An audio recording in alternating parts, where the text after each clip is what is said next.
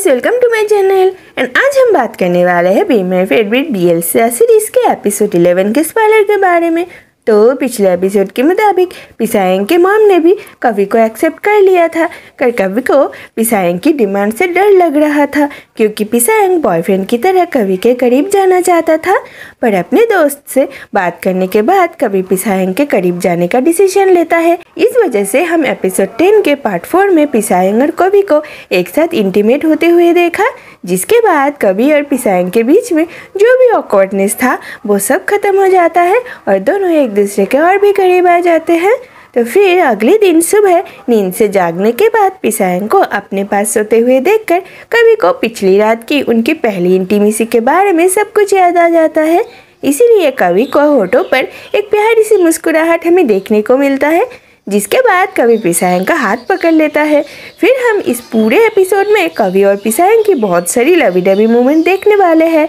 जिसमें से एक में हम देखते हैं, कवि और पिसायंग दोनों एक दूसरे के साथ वाटर गन से खेल रहे हैं और दोनों को ही होठों पर एक प्यारा सा मुस्कुराहट है, जो कि पर्सनली मुझे देखने में बहुत ही क्यूट लग रहा है। फिर हमें कवि और पिसायंग की प्यारी सी बातचीत की एक सीन भी देखने को मिलता है, जहाँ पर कवि पिसायंग से पूछता है, मैं अभी तक ये समझ नहीं पाया कि क्यों तुम मेरे जैसे किसी लड़के को इतना पसंद कर सकते हो?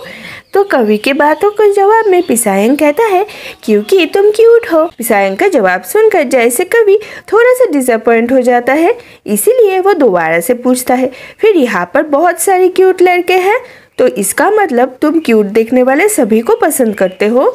कवि की बात सुनकर पिसायंग समझ जाता है कि उसका बॉयफ्रेंड जेलस फील कर रहा है और अभी पिसायंग को साफ़ साफ़ जवाब देने की ज़रूरत है।